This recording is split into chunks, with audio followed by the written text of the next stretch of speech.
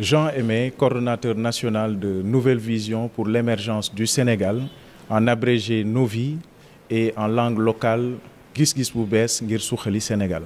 En fait, Novi est une plateforme citoyenne donc qui, euh, qui est ouverte à tous les citoyens sénégalais et dont l'objectif est d'amener le débat autour des enjeux de développement de notre pays, donc de le recentrer sur des problématiques majeures telles que euh, la réflexion sur comment faire pour que notre système éducatif national soit le plus performant possible, comment faire en sorte pour que la recherche et le développement, euh, l'enseignement supérieur soit beaucoup plus efficace et en droite ligne avec nos objectifs de développement, mais aussi comment faire en sorte pour que le comportement du citoyen soit aligné avec nos enjeux de développement. Donc c'est cela plus ou moins euh, l'objectif donc euh, poursuivi à travers la création de nos vies.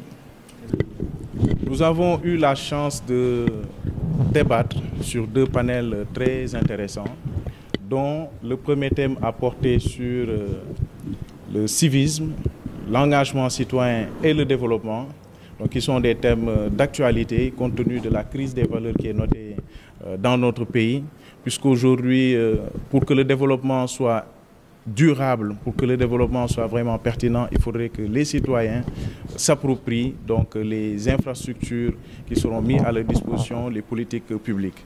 Le deuxième thème, c'est euh, quel modèle économique pour un Sénégal en pleine crise migratoire? Nous avons traversé la crise du Covid-19, la crise russo-ukrainienne avec leur lot de conséquences sur nos économies qui sont encore précaires. Et vous avez vu ce que cela a engendré comme euh, conséquence par rapport à cette vague de euh, migration irrégulière. L'idée, c'était vraiment de voir comment euh, d'étudier les causes donc, de ces, de ces, de ces, de ces phénomènes-là et d'essayer d'apporter des, des solutions. Pour le moment, nous, nous nous positionnons comme euh, une plateforme citoyenne. Donc, nous avons fait le choix de rester neutre par rapport euh, à, à, la politique afin de recentrer le débat sur les sujets d'intérêt commun.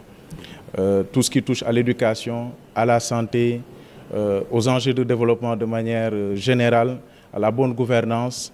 Et c'est pourquoi pour que ça soit bien fait. Nous avons fait le maximum pour attirer les cadres autour de ces, de ces problématiques pour que nous puissions en parler. Et nous allons au-delà de ces activités-là également, qui sont des activités de réflexion, mener des activités sur le, sur le terrain, des activités à portée hautement citoyenne, notamment euh, des distributions de, de livres, de kits scolaires donc pour les, pour les élèves.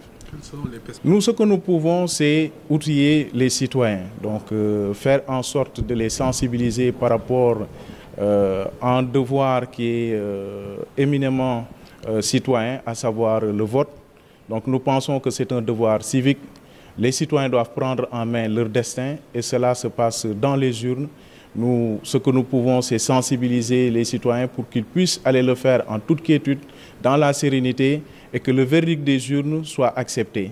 Je pense qu'au Sénégal, nous avons dépassé certains, certains problèmes tels que le, vote, le vol des élections.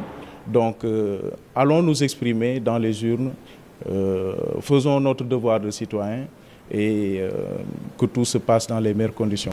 Nous n'avons pas réellement eu le temps de débattre de ces questions, mais ce qui est sûr, c'est que nous sommes à la croisée des chemins.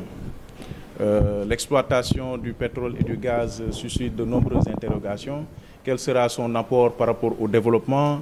Donc, comment est-ce que les revenus donc, euh, qui découleront de ces activités-là, euh, comment est-ce que cela profitera à la population? Mais euh, nous espérons qu'il y aura derrière une bonne gestion.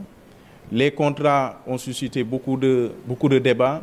On espère également que s'il y a des possibilités euh, que qu'une bonne partie de, cette, de ces revenus soit directement affectée aux jeunes, parce que nous faisons face à une démographie qui est galopante. La jeunesse est devenue un problème et elle devrait être la solution. Comment faire en sorte euh, de retenir nos jeunes chez nous, de leur donner vraiment des, perspectives pour qu'ils ne soient pas découragés au risque de se lancer dans des aventures périlleuses.